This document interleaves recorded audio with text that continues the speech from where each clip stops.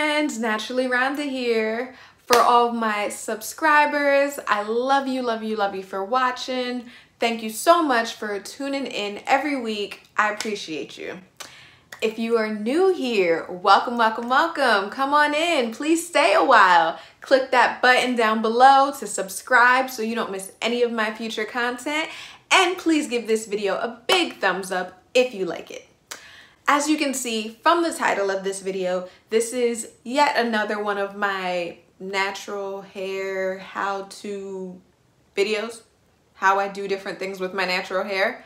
So in this one, I am going to show you how I wet plop my hair. My hair is already done. The products are all in, the leave-in, the gel, the oil, all of that is already in my hair, but it's kind of late and I don't feel like sitting under my hooded dryer right now. So I wet plop my hair so I can sleep on this and then just dry my hair in the morning. I know some people wet plop their hair with a t-shirt or something like that. I don't really like doing that for the simple fact that I feel like a t-shirt would soak up some of the moisture in my hair and that's not what I'm trying to do. All I want to do is preserve my hair in this state until I'm ready to dry it. So here's what you'll need. A scrunchie. I prefer to use a thicker one. Plastic shower cap and I prefer to use my slap, my satin lined cap but it doesn't have to be. It could be a beanie or some other cap like this that you don't mind sleeping in. Step one, you're going to flip your hair over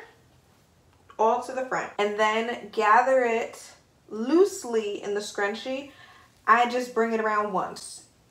So you don't want to make it tighter this won't put a dent in my hair because it's not really tight. You just want it to be gathered all together. Step two, start to feed your hair into the plastic cap and then bring it around to the back of your head like so. Now, I suppose you could just sleep like this if that's what you're comfortable with and it would still wet plop your hair. But I like to go in with step three. So step three is simply placing your cap, slap, beanie, scully, whatever you want to call it, over top of this. That's it. Now I'm ready to go to sleep.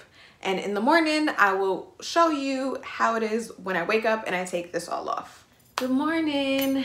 Now it's time to take off my wet plop and dry my hair. So all I do is take off my slap and I take off the shower cap.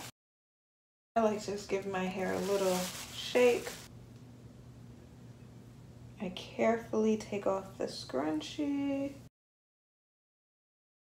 And then now I just put my hair back into the position that I want it to be in, make sure the part is where I want it, and now I'm ready to just sit under the dryer. So that's it for this brief natural hair how-to video. This is the moment that I like to point your attention to some of my other content, like my how I slick back my natural hair video and my how I work out with natural hair video. I love you for watching. Y'all please be safe out there and I'll see you in the next one.